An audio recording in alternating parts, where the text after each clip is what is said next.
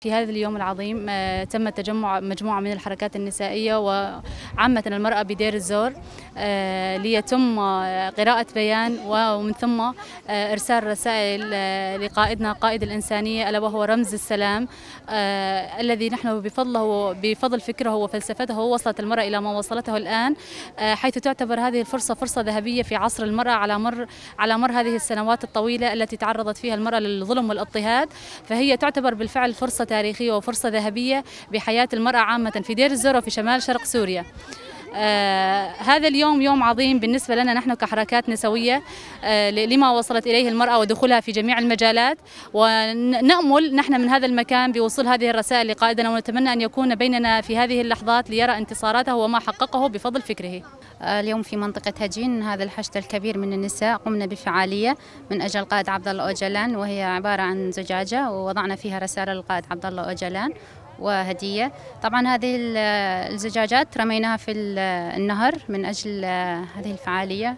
والفعالية قامت من أجل القائد عبد الله أوجلان الذي نادى بحرية المرأة وهي يعني شيء صغير نقدمه للقائد عبد الله أوجلان الذي قدم التضحيات وقدم الفكر والفلسفة للمرأة وقدم للمجتمع كثير من الأمور وناضل وقاوم من أجلنا.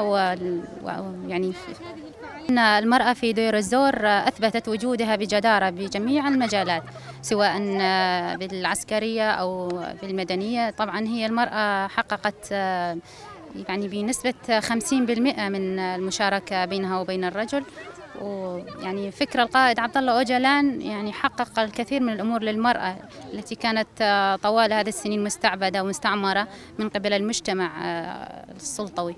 المرأة في دير الزور اليوم قدمنا رسالة للقائد بعثناها في المي ك ك كاحترام وكتقدير لقدراته ولنضاله اللي قدمه من أجل المرأة وحياته الذي حريته الجسدية التي دفعها ثمن من أجل حرية المرأة من أجل المرأة أن تحظى بالسلام وتكسر قيود العبودية. وبفضل القائد اليوم تقدمنا وتكسرت قيود العبودية للمرأة واليوم المرأة واقفة صامدة اتجاه كل الهجمات اتجاه كل الصعوبات التي مرت بها في حياتها.